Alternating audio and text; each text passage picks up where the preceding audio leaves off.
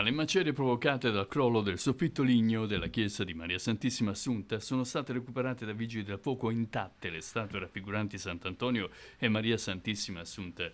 I caschi rossi, dopo aver effettuato una verifica di stabilità della struttura, nonostante alcune parti dell'edificio ancora pericolanti, nonostante il rischio, sono riusciti a mettere a sicuro le due opere sacre.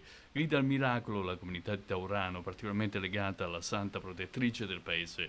Lo stesso sindaco Salvatore Maffettone parla di prodigio. La chiesa situata al centro del paese è infatti molto frequentata dai fedeli. Pochi giorni fa sono state celebrate le messe in onore della santa e domani sera il parroco padre Michele era atteso da un'altra funzione religiosa.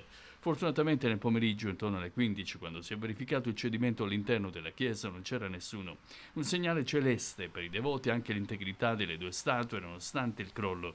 La chiesa intanto è stata dichiarata inagibile dai tecnici dei vigili del fuoco. In corso degli accertamenti da parte degli esperti per verificare le cause dello schianto, sul posto sono giunti anche i tecnici della sovrintendenza. Da primi rilievi sarebbe crollato il telaio di sostegno del solaio. Saranno disposti però degli esami più approfonditi per definire definire con certezza le cause del cedimento e come intervenire per mettere in sicurezza il soffitto. Intanto la notizia del crollo del solaio della chiesa e il salvataggio delle statue dei due santi ha provocato sconcerto tra i fedeli. Nonostante il maltempo scatenatosi nel pomeriggio nel Vallo di Lauro e la chiesa off limits, alcuni devoti si sono recati presso la parrocchia per verificare cosa fosse accaduto e hanno fatto sentire la loro vicinanza a Don Michele e al sindaco Maffettone. C'è chi dopo aver raggiunto la statua della Maria Santissima Assunta ha unito le mani in segno di preghiera per ringraziare la protettrice del pericolo scampato.